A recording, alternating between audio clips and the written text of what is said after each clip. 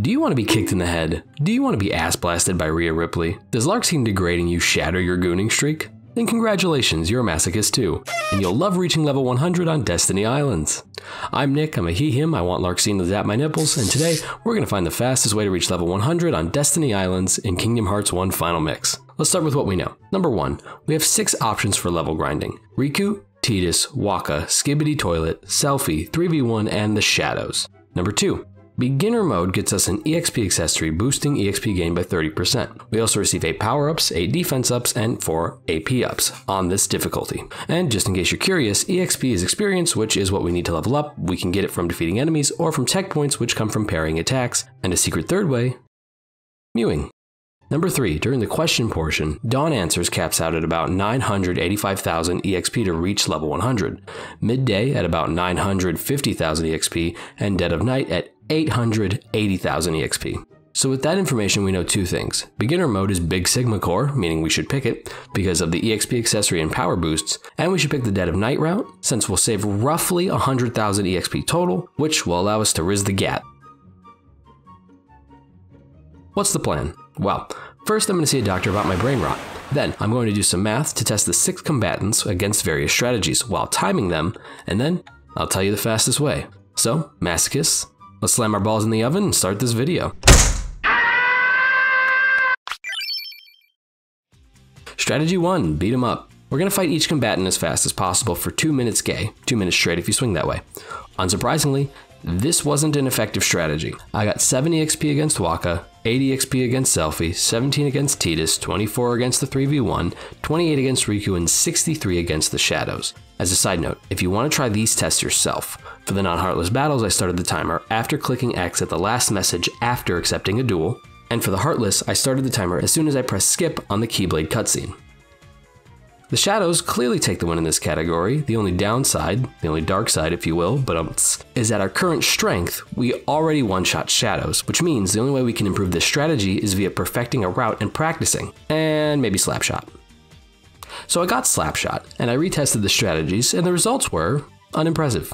Wakka went up to 11 EXP per 2 minutes, Selphie was still at 8 EXP, Tidus jumped to 26 EXP, 3v1 went to 31 EXP, Riku stayed at 28 EXP, and Shadows leapt up to 71 EXP. So Shadows are still the fastest, and here's why they outpace the rest of the strategies. We can one-shot them, there's no dialogue or animation for starting or finishing a fight, and no menuing to start again. So again, Shadows takes this category, peaking at 71 EXP per 2 minutes. But hang on there, big dog, we ain't done yet. Prep your oven door for Strategy 2. Tech Point Farm. This is where we try to get as much EXP as possible during the fight, regardless of winning or losing, also in 2 minute intervals like before. I got 32 EXP against Wakka, now that's an improvement. Wakka's strategy is to try to knock the ball over his head, and all we have to do for this to work is pull a COVID and stand 6 feet away.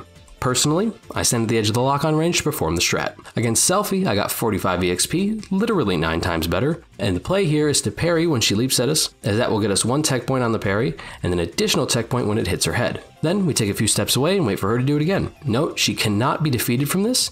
An additional note, if we're too close or too far away when she leaps again, so trip over herself I got 70 EXP against Tidus, and that's on par with the slapshot at Shadows. What we do is parry Tidus when he does a normal strike, then run away. After he backflips, we run towards him and repeat. Sometimes he might not backflip, which is actually good. So we'll take a few steps away and then just parry him again. Another thing, if he does a flip attack against us after we've walked away and come back, it just means we've approached him too soon after his backflip. I got 42 EXP against the 3v1. I really didn't have a strategy for this, I just did whatever was helpful in the moment. However, it, would likely be better to just knock out Selphie and Wakka and do the Tidus strat, but then, you know, why bother with the 3v1? I got 8 EXP against Riku, abysmal. Riku does 3 main attacks. A spin attack we don't get tech points for, he constantly fucking does it, could you don't. Riku has an overhead swipe we can get 1 tech point for. He'll usually do this after his spin attack and a little skip, but if we miss and he does his follow-up underhand swipe, we won't get a tech point for parrying that. Last, a lunge attack we can get one tech point for that usually, but not always, comes after he does a big jump. So the issue here is Riku isn't falling into a stun lock, so it's really difficult to get a consistent parry strat. I did get better as time went on, but we really are subject to the whim of Riku's RNG. Especially if he just starts blocking out of nowhere. Just like, ooh, big leap, now I'm gonna block. Okay. Or taunt, or whatever, asshole.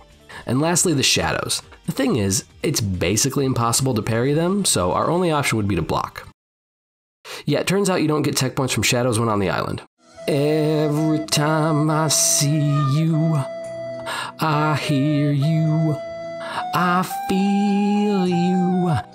That is how I know you're a bitch. Now let's talk about Tech Boost. We get this at level 12 with the shield, at level 18 with the sword, and at level 27 with the staff, and it increases our tech point gain.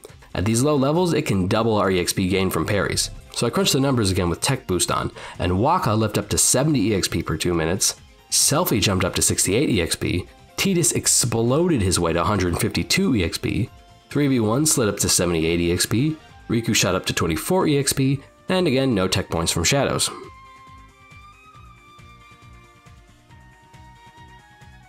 So I think the play here is pretty obvious.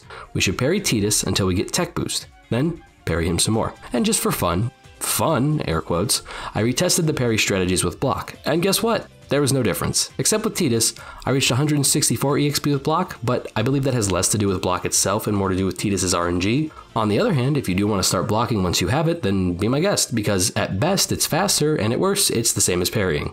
Now that we know what to do, it's time to- Ow! Goddamn oven door! Got my finger.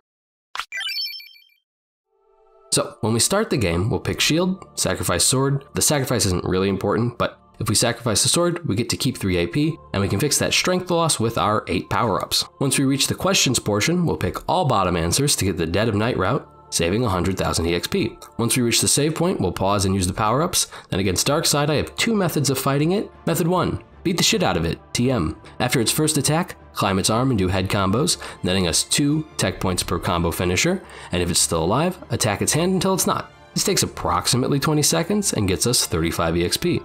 Method 2, laser tag. We'll maximize EXP by defeating the shadows as they spawn, and only doing damage by locking onto Darkside's head and parrying the lasers, getting us 3 total EXP per laser parried and returned to Darkside's head. This takes just under 2 minutes for about 76 EXP. I think the former option is better. We may get about half the EXP, but it will allow us to get to our strat literally 100 seconds sooner. But I will leave the method decision up to you. Last thing worth mentioning, at level 81, we'll get another tech boost, and that goes for any weapon option at the beginning. And while I haven't quite gotten that far, Larxene is still attaching the nipple clamps, that second tech boost will likely increase our EXP gain relatively substantially. And that's the fastest way to get to level 100 on Destiny Islands. Thanks for watching, leave a like if you want to try this, and don't forget to subscribe and hit the bell icon. Uh, comment how your grind is going, and have a great day. Goodbye!